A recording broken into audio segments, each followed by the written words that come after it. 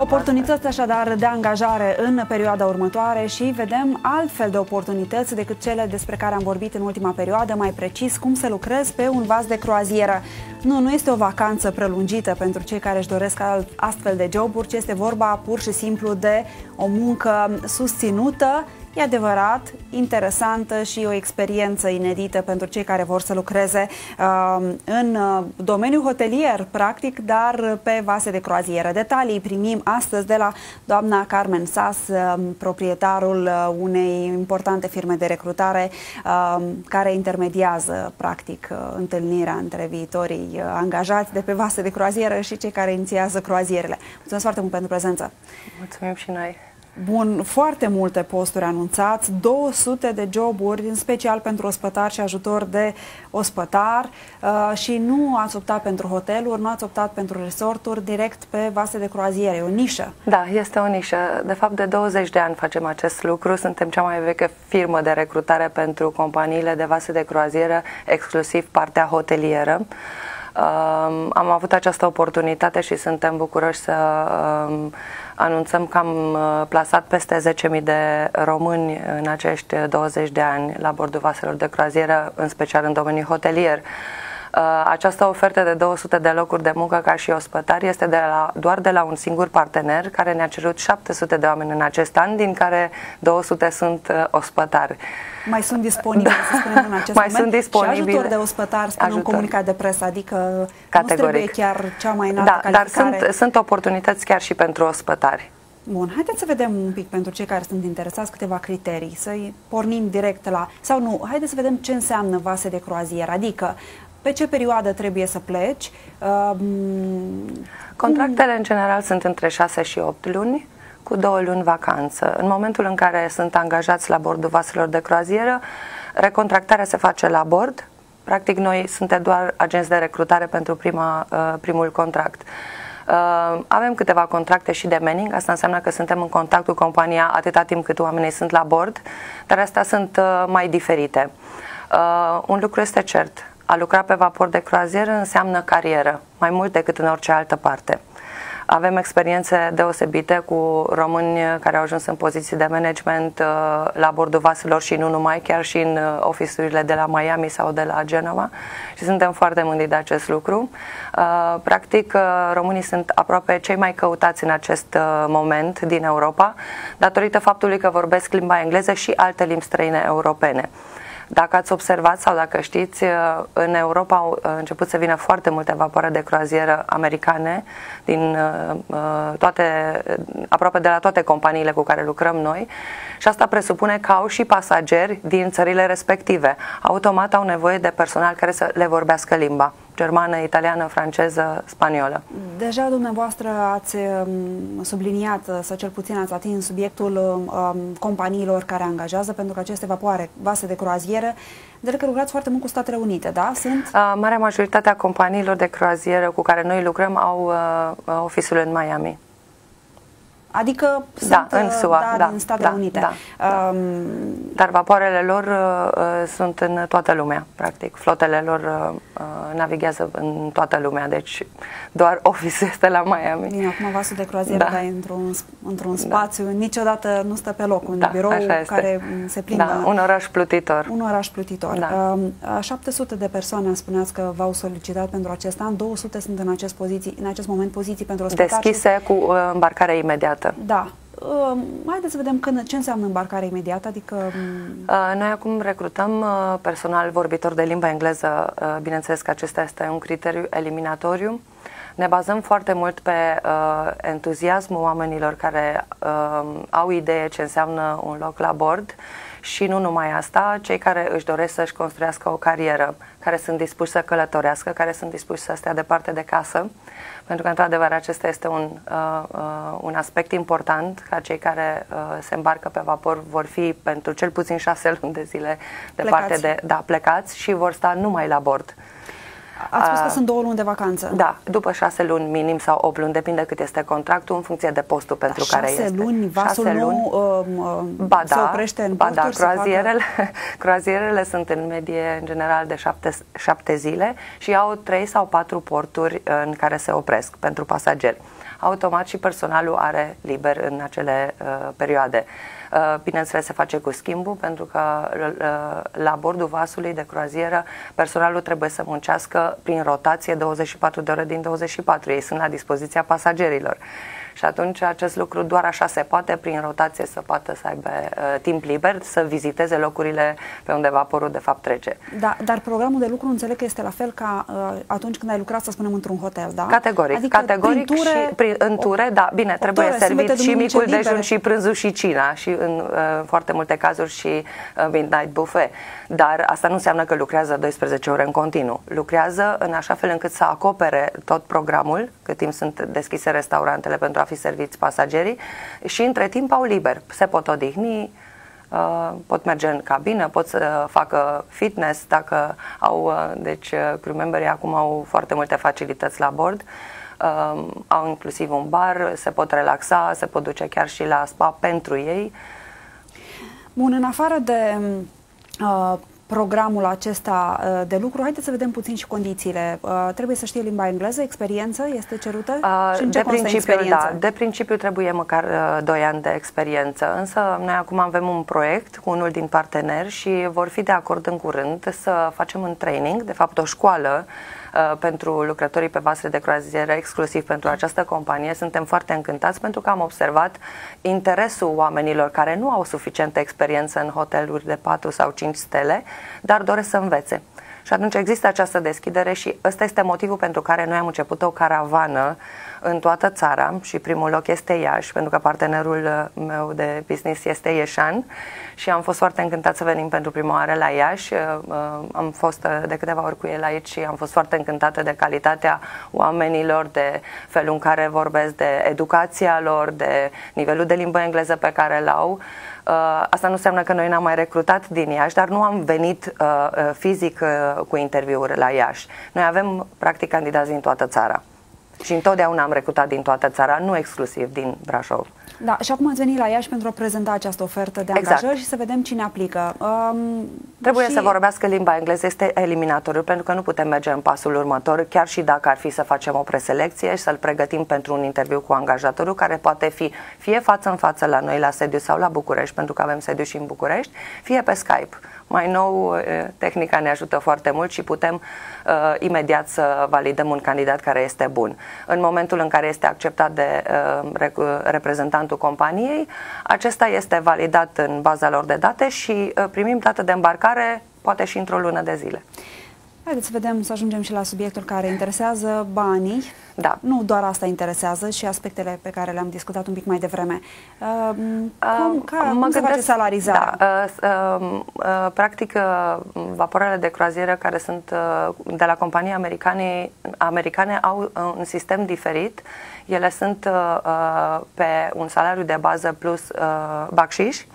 Acest bacșiș este acum uh, pus pe nota de plată a pasagerilor, este sugerat uh, dacă serviciile sunt acceptate la bord și sunt uh, uh, bune.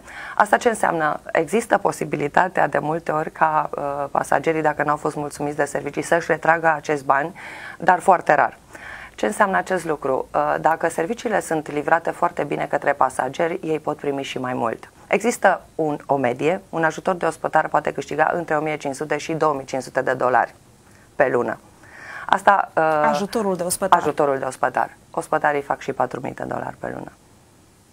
Este, deci asta este... Niște sume care... Sunt, da, sunt, da. Stați un pic, cât, cât Uh, procentual cât înseamnă salariul fix care este convenit prin contract este, și cât uh, înseamnă? Uh, 1200 de dolari. 1200 da, este garantat de, de companie. Acum dacă dolarul a mai crescut, a ajuns da, aproape da, de, da. Uh, de 4, a depășit 4, 4,2, deci exact. aproape ne apropiem de euro exact. să nu mai fie diferențele da. acestea. De... Deci da. salariul fix pentru ospătar sau ajutorul de ospătar? Ajutor de ospătar. Ajutorul de da. ospătar. Și Deja cu ce ospătarul, ospătarul uh, are garantat în, în jur de 1800. În jur de 1000. Da. Și care este diferența între cele două uh, categorii, ospătar și ajutor de ospătar?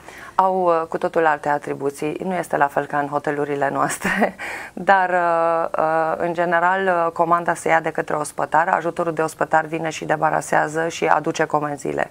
Um, în mod normal, uh, fiecare companie are sisteme diferite și este mult prea complicat să vă explic în acest moment, dar 99% din posturi sunt entry level, cum se spune, adică merg ca și ajutor de ospătar și pot promova și într-o lună de zile și, sau în trei sau în șase. Și la ei se garantează că tot bacșișul este împărțit în mod egal. Da. da? Adică da. nu îl primește separat. Se poate întâmpla și acest lucru. Pot primi și de la pasager direct. Bun. Da. Uh, în ce condiții locuiesc ei acolo? Adică... Deci, uh, pe vasele de croazieră uh, moderne, acum 20 de ani nu era chiar așa, au cabine cu două persoane în cameră, cu baie proprie, Uh, mesele sunt asigurate gratuit. Practic, ei nu au niciun fel de cheltuială la bord. Uniformele sunt uh, uh, asigurate de către companie și, practic, dacă termină un contract și sunt uh, economi, pot uh, salva foarte mulți bani până la sfârșitul contractului. Pot să vă spun că uh, succesul nostru acum 20 de ani, în perioada 95-2000, a fost că după un contract de ajutor de ospătar în Brașov, cel puțin era o garsonieră 5.000 de dolari și puteau să-și cumpere trei garsoniere după un contract. Sigur, acest lucru nu mai e posibil în acest moment și totuși posibilitatea de a uh, pune bani deoparte este cea mai mare în condițiile în care ai uh, masa și casa asigurată, inclusiv asistență medicală gratuită. Costuri pentru aplicanți care sunt? Bănuiesc comision către da. dumneavoastră? Nu, noi nu avem comision. De la aplicanți nu, nu doar de la nu. companiile noi primim, care da, organizează suntem de companie, da. Aplicanții au cheltuială pentru analize medicale, viză, în regu- de, de regulă trebuie să aplice pentru viză C1 de SUA. Uh, și biletul de avion în cazurile în care compania nu-l asigură. Sunt companii care îl asigură, sunt companii care nu. Iar mai nou, după noile reglementări maritime, uh, analizele medicale și vizele, depinde de la companie la companie, sunt rambursate la bord un quantum maxim de cheltuială ar fi 1000 de euro, pentru că analizele medicale sunt în jur de 200-250 de euro, depinde de la companie la companie, viza uh, C1 de 150 de uh, dolari și biletul de avion care poate fi între 4, 3, 400, 600 de euro, depinde de la caz, nu mai dus. La întoarcere, compania le plătește biletul de avion. Deci la da. revenirea acasă da. e, e asigurat. Uh, pentru viză, faptul că e angajat, se le facilitează, pentru că altfel uh, viza nu e da, chiar atât de simplu da, de luat. Nu. Deci viza, viza C1D este viză de marinar, e specifică și de tranzit în, în spațiul SUA și aceasta se poate face cu asistență și din partea noastră, dar noi, noi ca și agent de recrutare primim scrisorile de angajare pe baza cărora ei își, își pot lua această viză C1D. E mult mai simplu în acest moment față de trecut. Așa cum sună toate lucrurile, ca să te întorci acasă sau să ai garanția că 1500 de dolari. dolari cel puțin îți rămân aproape integral, fără alte cheltuieli, nu ai cazare, nu ai costuri de mâncare, de transport, pare extrem de atractiv. Unde e, să spunem, provocarea? Înțeleg că, în primul rând, că trebuie să ai disponibilitatea să fii plecat de acasă pe o perioadă asta atât de lungă. Este, asta este cea mai mare provocare și faptul că uh, ești uh, în, într-un uh, uh anturaj uh, uh de 40-50 de naționalități, practic e o experiență total diferită. În momentul în care ești acasă, trăiești, locuiești, muncești în, în, uh, cu români. Acolo Uh, inclusiv cazarea poate fi într-o cabină cu un filipinez, de exemplu, sigur de aceeași uh, uh, Adică uh, fete cu fete, băieți cu băieți nu se, nu, nu se permite decât doar dacă sunt cupluri și asta se poate uh, rezolva ulterior. Da, asta este un subiect care aș fi vrut să vi-l spun. Uh, cuplurile sunt binevenite, însă trebuie să știe că aplicația este individuală. Nu putem garanta că îi putem uh, trimite chiar deodată pe amândoi, dar uh, facem toate eforturile și noi ca și agenție și companiile. Cuplurile în general sunt mai stabile. Dar dacă am o problemă cât timp sunt plecat în această croazieră, eu ca și angajat care a plecat prin intermediul dumneavoastră, pot lua legătura? Asistăm. Da, sigur, categoric. Le dăm tot suportul și... Uh, da, în timpul croazierelor bănuiesc că au contact, nu știu, pe internet, pe internet sau, da? Da, Există. Și pot sesiza și pot ruga să interveniți sigur, în cazul sigur, în care nu-și rezolvă sigur. intern toate aceste da, probleme, da, da? da? Sunt contracte toate, adică, nu știu, contribuții plătite sau sunt salariile... Uh... Ei au, uh, de exemplu, cei care sunt la companiile europene, da sunt cu contracte europene. Păi majoritatea sunt... aveți la companii americane. Da, exact. Nu, nu majoritatea, jumate-jumate. Jumătate, da, jumătate. Da, da. Uh, bun, detalii oricum pot obține de la dumneavoastră suplimentare. Aș vrea să adaug faptul că recrutați și personal medical, adică kinetoterapeuți, asistenți medicali și medici din toate specializările, uh, fie pentru vase de croazieră, fie, asistente și aici apare medicale, da. uh, asistente medicale aici pentru și surpriza pentru croazieră. spitale. Pentru spitale Adică Franța. aveți două domenii aproape total diferite. Da, exact, exact. E nouă, înțeleg că E de această... trei ani. De trei ani. Da, da, față de 20 suntem, de când uh, da, intermediați. Suntem pentru... foarte încântați de rezultatele pe care le-am avut și uh, pot să vă spun că primii kinetoterapeuți terapeuți pe care i-am trimis în Franța în spitale uh, au fost din Piatra Neamț și ăsta este și unul din motivele pentru care am revenit în Iași, pentru că am, uh, am fost foarte încântați de performanța lor uh, în spitale și am fost lăudați și am fost solicitați să aducem mai multe persoane. Bun, haideți să vedem cu ce, uh, cu ce salarii pleacă un, un kinetoterapeut. Un kinetoterapeut are net 1850 de euro casă și masa asigurată Costuri? în cadrul spitalului, zero costuri. Zero costuri însemnând când pleacă. Da. Acolo trebuie, vedeți aproape că e mai bine să plece ospătar uh, pe un vas de croazieră. Da, pentru că, da, mai pentru costuri. că este un alt sistem de angajare. Da? Care e diferența? Adică? Păi, la, la kinetoterapeuți noi suntem angajatorii și avem contract de muncă temporară pentru, pentru spitalele din Franța, iar la vasele de croaziere noi suntem doar agent de recrutare și angajarea se face direct cu companiile. Um, vreau de asemenea să întreb, nu e aglomerată piața aceasta cu uh, intermedierea sau, mă rog, angajarea, indiferent ba da. formula pe care ba da. nu s-a cam aglomerat? pleacă, plus că uh, foarte mulți medici deja au colegi care le asigură singur să plece în Marea Britanie, în Germania. Așa adică... este. Este concurență mare în ultima vreme. Și ăsta este și motivul pentru care am uh, uh, demarat această acțiune de caravane de joburi în toată țara, pentru că ne dorim să ne apropiem de candidați și să reușim să recrutăm mai multe persoane datorită acestei concurențe. Da, și mai aveți medici pe care să-i mai luați, să-i trimiteți în afara țării? Adică ce a mai rămas în condițiile este astea? Foarte dificil, dacă, da, unii este de foarte la dificil, plus că uh, Sănătății vrea să vă interzică activitatea, dacă s-ar putea. Nu e drept, Eu cred nu că e este corect. opțiunea candidatului, mă rog, a medicului, a kinetoterapeutului unde dorește să lucreze și ăsta este un lucru pozitiv, după părerea mea. Omul poate să um, aleagă. Dumneavoastră mi-a spus un lucru foarte interesant, nu în cadrul discuției un pic mai devreme, despre faptul că ați încercat și alte tipuri de uh, plasare de forță de muncă în străinătate, doar că uh, recent o lege uh, privind uh, salarizarea românilor conform cu standardele din străinătate v-a încurcat puțin calculele, da? Da, nu neapărat. E vorba de munca calcule, temporară. Da, exact, munca temporară și din acest motiv uh, singurele nișe unde am putut să păstrăm uh, această afacere a, f- a fost uh, domeniul medical. Da, haideți să explicăm puțin. Știu că nu mai lucrați în domeniul acesta, dar așa ca o scurtă paranteză pentru cei care încă uh, vor să facă. Potrivit, munca temporară înseamnă, uh, adică eu uh, închiriez un angajat pe care l-am, unui angajator din afară pe o și perioadă determinată. determinată și legislația te obligă să-l păst- să-l plătesc pe angajatul român. La, la fel acel... ca și în țara respectivă. Adică țara... dacă îl plasez în Germania, să aibă exact același salarii Minim. ca acolo. Da. Da, și, și să plătim taxe uh, uh, echivalente. categorii echivalente cu uh, salariul în euro. Vă și dau un exemplu, dacă uh, un muncitor în construcții în Franța are 1150 de euro net, uh, același salariu suntem obligați și noi să-l dăm. Asta, asta a fost noutatea din ianuarie începând. Da, lucru și care... foarte multe firme nu au putut continua pentru că, practic, uh, contractul de punere la dispoziție cu utilizatorii din străinătate nu a mai putut fi onorat.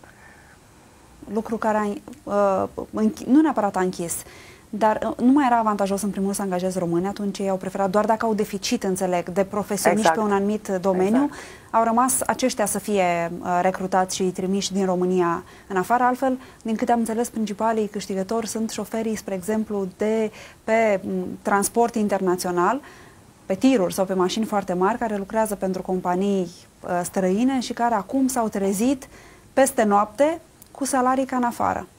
Da, Numai este. că s-a lucrat un pic la diurnă, din câte am înțeles, adică totuși s-au găsit niște soluții pentru asta, adică nu se mai acordă diurnele, probabil oricum trebuie să respecte legislația internațională, o diurnă Așa de minim, este. nu știu, exact 30 de euro cel puțin, dacă nu mă înșel, ca să pleci în afară. Oricum, o legislație care, iată, a schimbat un pic perspectivele companiilor de recrutare. Până una alta, um, șase luni cine are la dispoziție în perioada următoare ca să uh, aibă o experiență și să strângă câțiva bani, poate opta pentru joburi uh, pe vase de croazieră. Uh, limba engleză este de bază, în rest probabil foarte mulți tineri aplică și nu numai. Uh, pe lângă limba engleză, experiență dacă este, dacă nu, sperăm să putem să venim în sprijinul acelora, atitudine pozitivă, entuziasm, dorința de a învăța, uh, sunt criterii de bază. Practic, uh, oamenii, tinerii care uh, doresc pur și simplu să încerce această, acest tip de job uh, vor avea foarte mari satisfacții.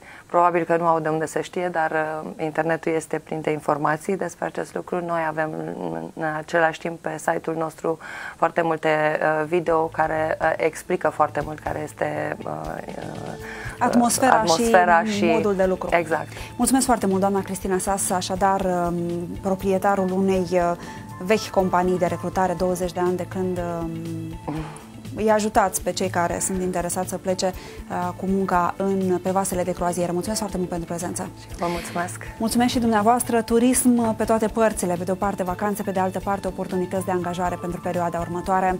Aici se încheie discuția noastră de astăzi. Nu uitați să ne scrieți pe recrutat în Iașarond digi24.ro și de asemenea urmăriți-ne pe pagina oficială de Facebook. Avem acolo informații relevante din discuțiile noastre din cadrul emisiunii. Vă doresc o zi excelentă!